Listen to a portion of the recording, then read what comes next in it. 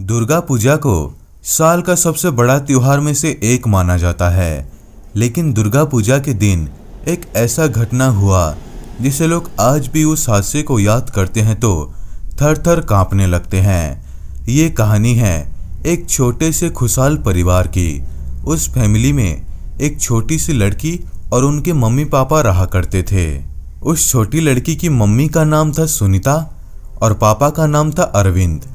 और उस छोटी लड़की का नाम था वैशाली। वैशाली के पापा एक चाय का दुकान खोलकर चाय बेचते थे और उस चाय की दुकान से जितना भी पैसा होता था, उससे उनका घर चलता था। अरविंद के परिवार में सब कुछ ठीक चल रहा था, लेकिन एक दिन कुछ ऐसा हुआ जिसे देख लोग थर थर कांपने लगे। दुर्गा पूजा शुरू हो चुका था और अरविंद काम में बहुत व्यस्त रहता था। एक दिन जब अरविंद के परिवार में सब लोग सो रहे होते हैं तो घर में अचानक से आँख लग जाता है, जिसे सब लोग उस आँख के चपेट में आकर जलकर मर जाते हैं। इस घटना से आसपास के लोग बहुत डरे हुए होते हैं, लेकिन लोगों को ये बात पता ही नहीं चल पा रहा था कि इतनी रात को अरविंद के घर में आग कैसे लगी।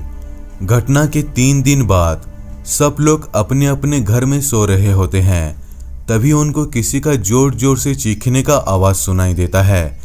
जब कुछ लोग बाहर निकल कर देखते हैं तो वो आवाज़ और कहीं नहीं, बल्कि अरविंद के घर से आ रहा होता है। ये देखकर सारे लोग बहुत डर जाते हैं और डर के मारे लोग अपने अपने घर में चले जाते हैं। इस घटना के बाद बहुत से लोगों ने वैशाली की आत्मा को घर के बाहर खेलते हुए देखने का दावा किया और कहा जाता है कि आज भी पूर्णिमा के रात को उस घर से चीखने चिल्लाने का आवाज़ सुनाई देता है।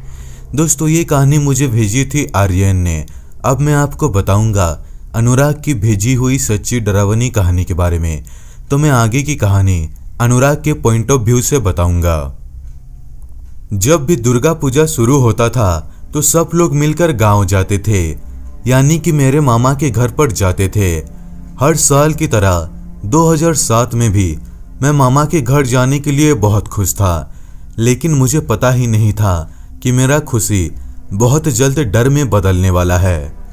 रात के करीब आठ बजे एक सुनसान रास्ते से मैं और मेरे घर के सारे लोग एक कार में मामा के घर पर जा रहे थे।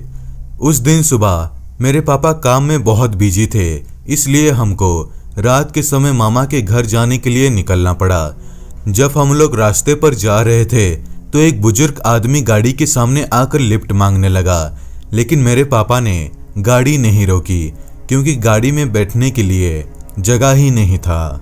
कुछ दूर जाने के बाद, जब मैंने गाड़ी के आईने में देखा तो वो बुज़ुर्ग आदमी अपना कटा हुआ सिर लेकर गाड़ी के पीछे दौड़ रहा था। ये नज़ारा देखकर मैं बहुत डर गया और मेरे पापा को गाड़ी और तेज भगाने के लिए कहा कुछ दूर जाने के बाद, जब हम लोग मेन रोड में आए तो मैंने सारी बातें अपने पापा को बताई।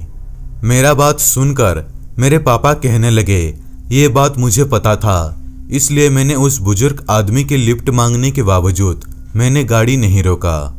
ये बात सुनकर मैं पूरी तरह शॉक्ड हो गया। दोस्तों, ये थी दो सच्ची डरावनी कहानियाँ। दोनों में से कौन सा स्टोरी आपको अच्छा लगा, नीचे कमेंट करके ज़रूर बताना। दोस्तों, अगर वीडियो अच्छा लगा हो तो वीडियो को लाइक करें, शेयर करें और इस चैनल को सब्सक्राइब करना बिल्कुल भी ना भूलें। तो दोस्तों, मिलते हैं अगले वीडियो में, तब तक के लिए धन्यवाद।